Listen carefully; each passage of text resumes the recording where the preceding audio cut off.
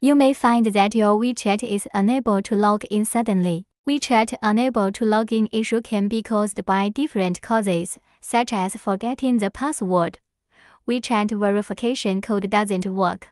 WeChat account has been blocked and other reasons. How to fix WeChat's unable to log in the issue? Check this video for the details. If you tried many times and ensure that you have forgotten the login password, follow the steps below so that you can log in WeChat normally. Generally speaking, you can log in WeChat via linked phone number, QQ ID, email address, etc. Without inputting the password, you can follow the pop-up prompts to log in via verification or password resetting. If you want to reset your account with a new password, you can click Forgot Password, request retrieval, confirm it, and then you will receive a message with a new password. Now, you can use the new password to log in WeChat. If your WeChat account is blocked, you can refer to the following tips. Uninstall WeChat from your phone and go to App Store or Google Play to install it again. Do not use the Android emulator or other unofficial plugins to run WeChat again.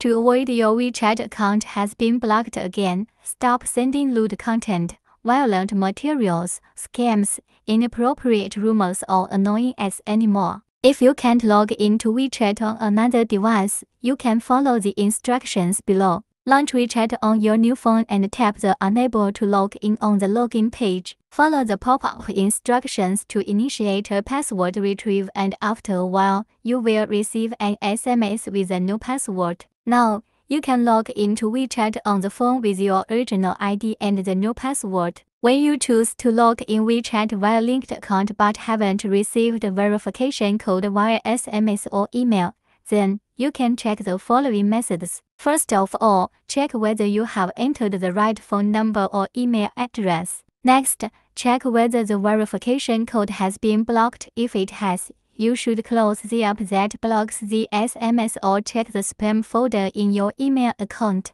Maybe your SMS verification code has been sent too frequently. Just try again later. Take out the SIM card in your phone and insert it to another phone to receive the verification code again.